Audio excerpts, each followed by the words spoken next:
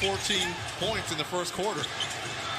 And again, it's Giannis picking him up defensively. And Young able to look him in the face and hit the three.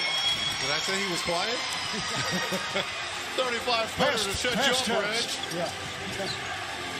Just under three left, first half. Antetokounmpo had it knocked away by Gallinari. And it's last touch by Giannis, who is arguing the call. You got to be careful here. Goes right at the official, Kevin Scott.